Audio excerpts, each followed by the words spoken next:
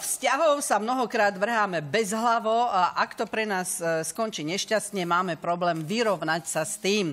Prvé skúsenosti s rozchodom získavajú mladí už počas puberty. Málo kto sa vtedy odváži požiadať o pomoc a cíti sa na svete úplne sám. Presne proti tomu sa rozhodla bojovať vláda Nového Zélandu, ktorá chce mladým vo veku od 12 do, do 24 rokov pomôcť zvládať takéto rozchody. Cieľom kampane s názvom Miluj lepšie je podpora zdravých a rovnocených vzťahov. Vláda na tento program vyčlenila 7 miliónov dolárov a plánuje osloviť približne 850 tisíc mladých ľudí. Program má naučiť mladých rozpoznať svoju bolesť a premeniť ju na niečo pozitívne. No... Nový Zéland. Mne sa na tom nepáči, že sa myslí na jednu kategóriu a úplne sa zabúda na druhú. Tak myslí sa na tých, čo sú nešťastne za, sa prvú lásku mali nešťastnú, nevyšlo to. Ale myslí sa aj na tých, čo prvú lásku mali šťastnú a dopadlo to tak, že sa vzali a žijú spolu. Tí by oveľa viac potrebovali podporu, ako tí šťastlivci.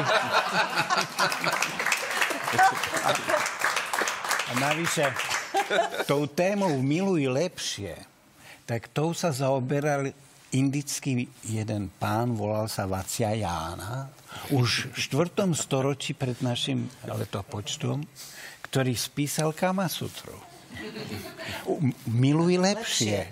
Ja mm, neviem, koľko tých. Myslím, že neviem, koľko tých poloh už si nespomínam presne. 80, 81 tam je. A niek- asi ste to zrejme všetci skúšali za radom. Určite ste... Nar... jednu a tú istú. Určite ste narazili... Neskúšaná. Určite ste narazili aj na takú polohu, kde ste to síce skúšali, ale dreveneli vám pri tom údy. Jednoducho raz ruka, raz noha, trpli ste. A viete prečo? To nebola chyba vo vás. To bola chyba v tom popise tej polohy, pretože sa zistilo, že ten Vacia Jána, on bol mních. On zom, žil a zomrel ako panic. Čo? On o tom vedel ho... Len popisoval s eh, bujnou fantáziou, ako by sa to dalo. No a samozrejme, že tam popisoval aj polohy, ktoré sa vonkoncom nedajú. A my sprostí. No. Ale jeden, jeden manželský pár starší, ktorý si to chcel už vyskúšať a chceli si tak oživiť e, svoje manželstvo a takú romantiku do toho vniesť, tak zašli do jedného hotela, kde manžel objednal izbu na 6 noci. A recepčný sa tak uznanlivo pozrel na tú ženu a na, teda na manželku toho a hovorí, vy sa musíte tomu pánovi hrozne páčiť, pretože on zvykne si tu u nás objednávať izbu len na jednu noc.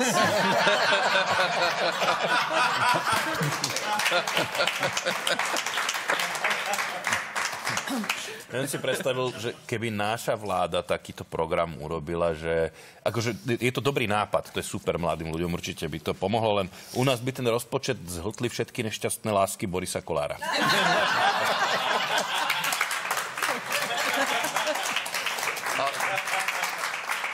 Ono aj tie rozchody sú veľakrát také, že, že, vieš, že kvôli malichernostiam a hlúpostiam mm, sa ľudia vedia, vedia rozísť a pritom by, keby, to, keby tomu pristupovali trošku rozumnejšie, tak si to vôbec nemuselo diať. Ja som počul jednom prípade jednej mladej dievčiny, ktorá akože prišla za svojim priateľom už po takom roku vzťahom hovorí, vieš čo, vykašlíme sa na to, koniec, ja už nemôžem, rozchádzame sa, ja proste už nedokážem znášať tú tvoju obsesiu eh, hudbou Františka Krištofa, Krištofa Veselého, však to je, kto to má oni počúvať a ja, proste, je, je proste koniec.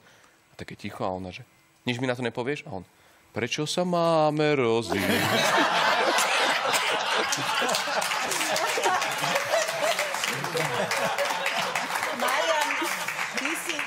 mi pripomenul e, tým, čo si povedal, že ni- nie len mladí ľudia sa akože rozchádzajú, že a tam je to také, no tak sa rozídu nejakí puberťáci, tak majú život ešte pred sebou, však za chvíľu si nájdu niekoho iného. Nie je to tam také bolestné, ako napríklad pri naozaj starších pároch, ktorí sú už dlho spolu. To nám hovor. No, zavolal mi náš dlhoročný, dobrý rodinný kamarát, že či nejdem s ním na pohár vínka, tak som samozrejme išla a on mi teda oznámil, že sa, e, nebudem ju menovať, so svojou ženou po 26 rokoch manželstva, že sa rozchádzajú. Tak mi bolo tak aj ľúto a hovorím, no počúvaj, a prečo si nezavolal aj Juraja, akože môjho muža, však sme priatelia, hovorím, a on je chlap chlapovi, akože proste mohol by ti lepšie poradiť, ako by si mohol zachrániť to manželstvo. A on, no vidíš, práve preto som ho nepovedal.